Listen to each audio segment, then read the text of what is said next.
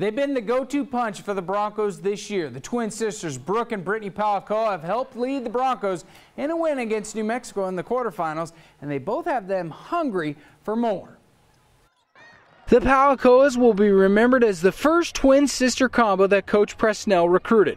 Brooke leads Boise State in scoring this year, and sister Brittney has connected on nearly half of her shots from long distance this season.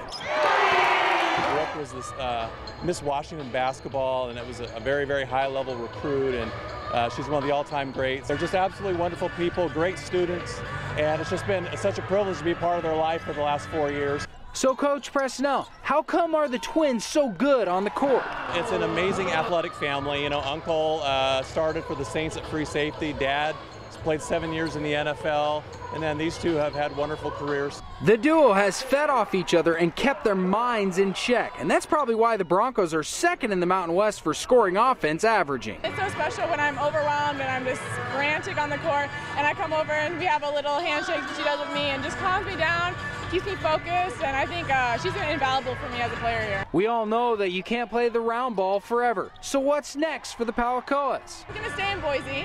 So my sister's going to work for the team and get her master's, and I'm going to find a job and hopefully go back in a year or so to get my master's in sports psychology.